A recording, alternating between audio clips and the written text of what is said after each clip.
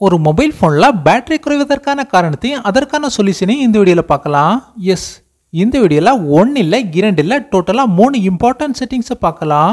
Settings number one turn off background mobile data settings number two turn off auto update apps settings number three battery saver first செட்டிங்ஸை பார்க்கலாம்.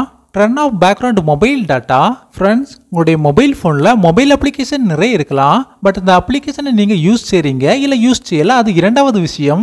But அந்த அப்ளிகேஷனுக்கு background mobile data permission ஆனில் இருந்தால் mobile tata குறைவது மட்டும் இல்லை mobile battery சார்ஜும் குறைந்து போகலாம். ஸோ மொபைல் அப்ளிகேஷனுக்கு பேக்ரவுண்டில் மொபைல் டாட்டா யூஸ் ஆவதை தடுத்து பேட்டரி பர்ஃபார்மன்ஸை கூட்டுறதா இருந்தால் ஃபர்ஸ்ட் மொபைல் ஃபோனில் மொபைல் செட்டிங்ஸை ஓப்பன் செய்யலாம்.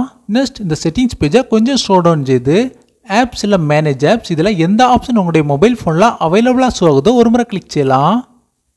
நெக்ஸ்ட் இந்த பேஜில் நம்முடைய மொபைல் அப்ளிகேஷன் எல்லாமே ஷோ ஆகும். ஃபார் எக்ஸாம்பிள் என்னுடைய இந்த ஃபேஸ்புக் அப்ளிகேஷனுக்கு பேக்ரவுண்ட் மொபைல் டாட்டாவை ஆஃப் செய்கிறதா இருந்தால் ஃபர்ஸ்ட் ஃபேஸ்புக் அப்ளிகேஷனை ஓப்பன் செய்யலாம்.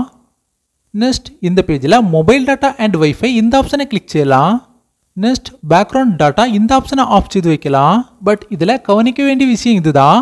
ஒரு அப்ளிகேஷனுக்கு பேக்ரவுண்ட் டாட்டா பர்மிஷனை ஆஃப் செய்யும் போது அந்த அப்ளிகேஷனோட நோட்டிஃபிகேஷன் எதுவுமே ரிசீவ் ஆகாது. அதாவது இது மாதிரி. ஸோ உங்களுக்கு எந்த அப்ளிகேஷனோட நோட்டிஃபிகேஷன் ரிசீவ் ஆகணுமோ அந்த அப்ளிகேஷனை தவிர்த்து மீதி உள்ள எல்லா அப்ளிகேஷனையும் ஒன் பை ஒன்னாக ஓப்பன் செய்து பேக்ரவுண்ட் டாட்டா பர்மிஷனை ஆஃப் செய்யுங்க. இதன் மூலம் நம்முடைய மொபைல் பேட்டரி குறைவதை தடுக்க முடியும். Settings number two turn off auto update apps play store வழியாக நிறைய அப்ளிகேஷனை டவுன்லோட் செய்திருப்பீங்க.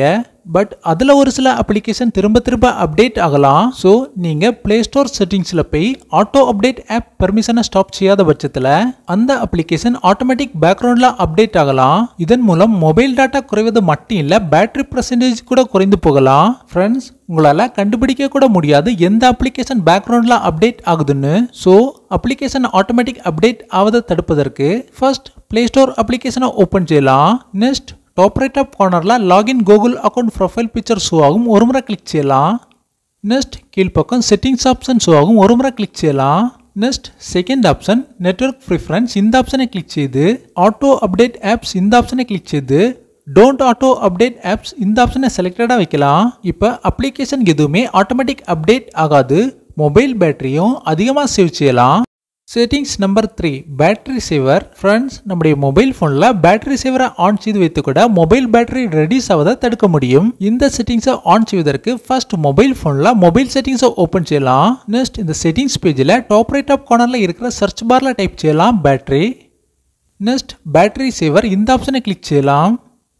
நெக்ஸ்ட் பேட்டரி சேவர் ஆஃபில் இருந்தால் இது மாதிரி கிளிக் செய்து பேட்டரி சேவரை ஆன் செய்து வைத்து கூட மொபைல் பேட்டரி ரெடியூஸ் ஆவதை தடுக்க முடியும். ஒரு மொபைல் பேட்டரி சார்ஜ் ரெடியூஸ் ஆவதை எப்படி தடுக்க முடியும்னு என்னுடைய நண்பர்களுக்கு தெரிந்திருக்கும்னு நினைக்கிறேன். வீடியோ பிடித்திருந்தால் லைக் போடுங்க. ஓகே நெக்ஸ்ட் வீடியோவில் பார்க்கலாம். நன்றி வணக்கம்.